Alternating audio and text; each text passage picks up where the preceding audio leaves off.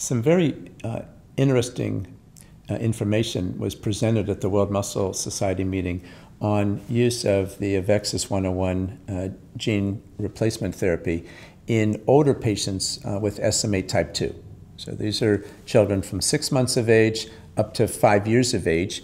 Uh, and what's different from the babies uh, with type 1 SMA who are given a single intravenous dose, which is weight based, it's per kilogram.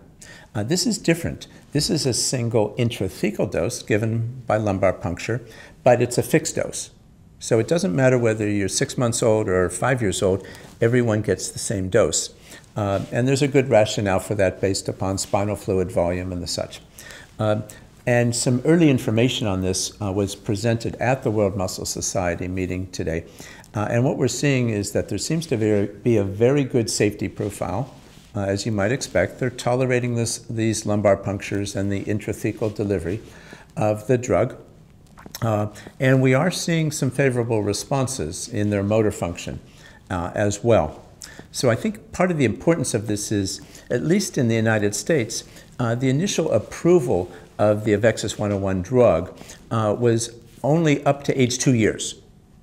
It could be type 1, type 2, but only up to age two years. What this strong study is going to allow us to explore is both the safety and the efficacy of an intrathecal administration of the drug uh, to uh, children up to age five years.